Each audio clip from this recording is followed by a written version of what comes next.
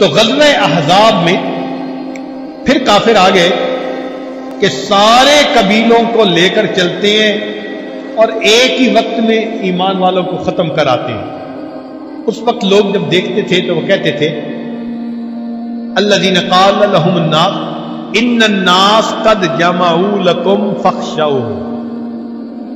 कि लोग तुम्हारे लिए जमा होकर आ गए, डरो फजाद हम ईमाना। इस बात को सुनकर ईमान वालों का ईमान बढ़ता था। देखो, आज के हालात को जंगे अहदाब पे जरा मुंतबिक कर लो।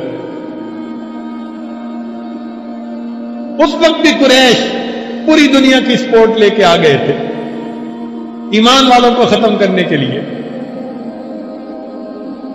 और यही यहूदी डराते थे। इन नास कद जमाऊ लकुम। सारे इंसान जमा होकर तुम्हारे लिए आ गए फख्शो हो। भाई डरो, कोई फ़िक्र करो। अल्लाह ताला क्या फरमाती है? कि ये सुन के ईमान वालों का क्या मामला था? फजाद हम ईमाना, उनका ईमान बढ़ जाता।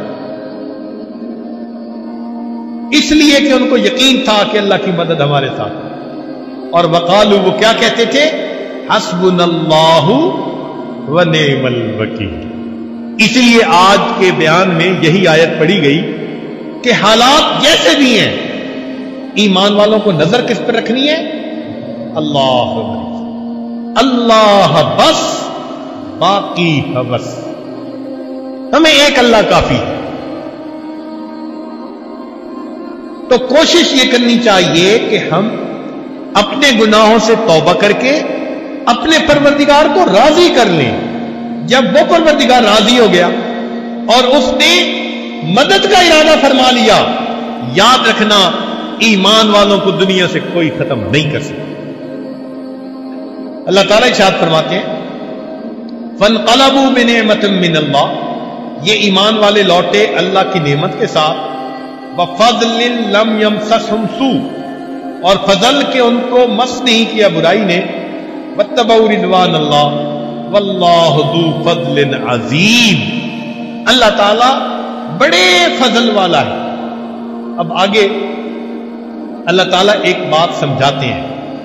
फरमाते हैं इन नजालिकम शैतान युखबिफोलिया फला तखाफू ये शैतान है जो अपने दोस्तों से डराता है, तुम इनसे मत डरना, वखाफूनी एक मुझसे डरना, इन कुन तुम मुमिनीन, अगर तुम ईमान वाले तो हमें डरना किससे है? एक अल्लाह रब्बुल इज़्ज़त से डरना। उसकी मदद अगर हमारे साथ हो गई तो दुनिया का कोई भी बंदा हमारा बाल बीका नहीं कर सकता।